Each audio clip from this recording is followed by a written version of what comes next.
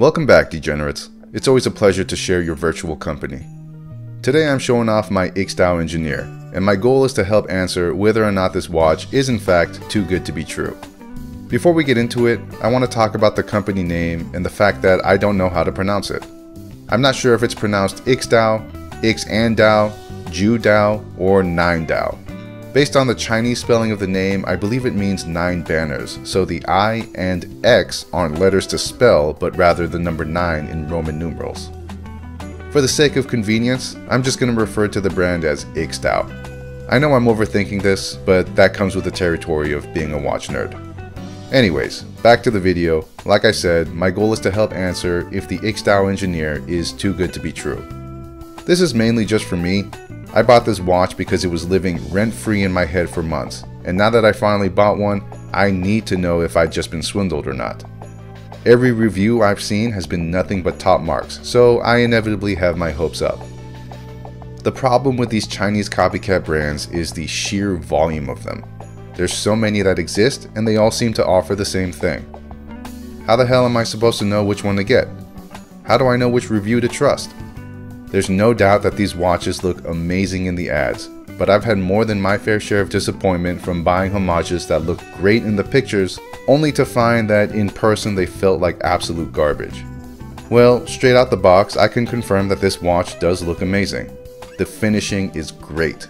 I'm not saying it's great for a copy, I'm saying it's great, period.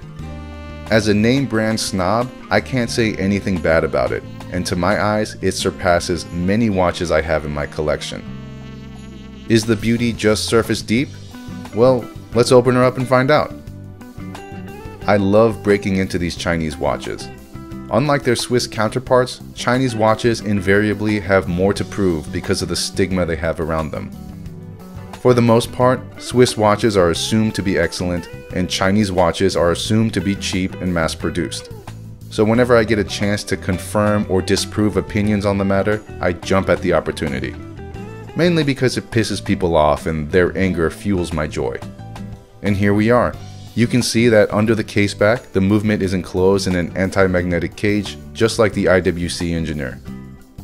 Some Rolex models use this method also. Underneath that is the movement itself. You can opt for the PT5000, SW200, or ETA 2824. I went for the SW200 for no other reason than everyone else reviewed the PT5000 version, and I just had to be a little extra. So what do you think? Does it look any less than a Swiss made watch? Does it look inferior because it's Chinese? I can't answer that question for you. I can only present to you what I see, and what I see is a solid ass watch. Out the door, I spent $388 for it. That's $355 for the watch and then $33 for taxes and shipping. At that price, I feel like I'm getting way more than I usually do. Don't get me wrong, I'm not trying to bring up this watch by tearing down other watches. I'm just calling it how I see it.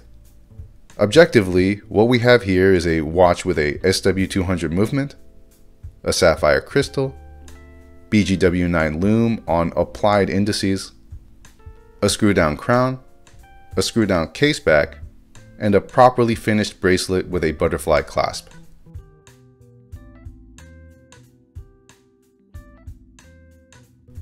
Here's a look at that lume shot.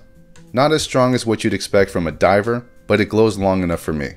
I'm usually up by 3 a.m. and I can easily find it on my nightstand from its glow. I think the bezel is the star of the show. So, yeah, it's a direct rip from IWC, but we all know that. So, getting that obvious fact out the way, I'm just going to talk about the design regardless of where it came from. The bezel has no function except to be decorative, but does so in a way that ties the entire watch together.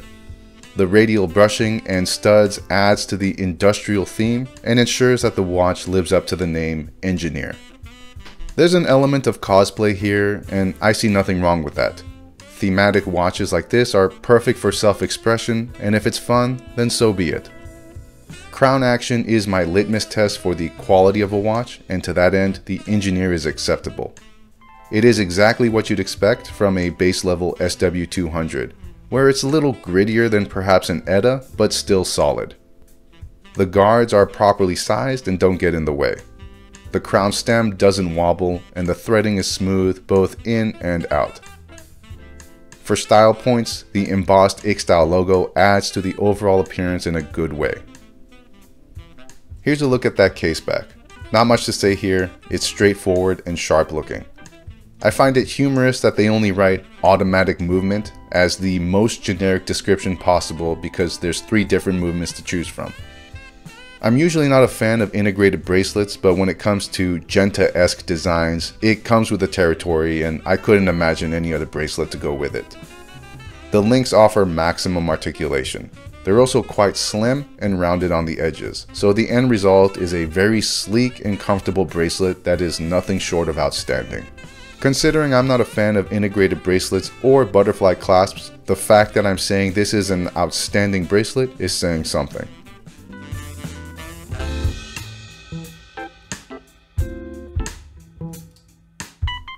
I'm not trying to become an AliExpress simp.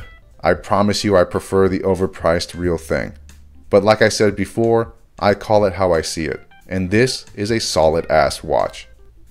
In the mind-numbingly vast catalog of copycat homages, at least I know I found one that lives up to the hype. The engineer punches well above its price tag and has a level of quality that would not be out of place in any luxury boutique. Does this mean that IWC engineer owners wasted their money? No, it does not. There's still value in owning the original. If that doesn't mean anything to you, then it doesn't mean anything to you. But that doesn't remove the fact that the original will always have something that the copy does not. And I'm not here to tell you what that thing is, but I will tell you that IXDAO has done something incredible. And if you don't want to break the bank, then exceptional quality is still available to you, and I think that's awesome. Of course, that's just my opinion. I'm neither smart nor complicated. Me like watch, shiny watch good. And that's all I got for now. Stay classy. I sure as hell won't.